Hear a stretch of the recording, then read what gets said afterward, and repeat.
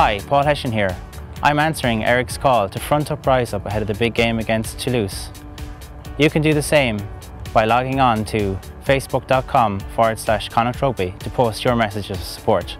So come on, front up Rise Up and support the team.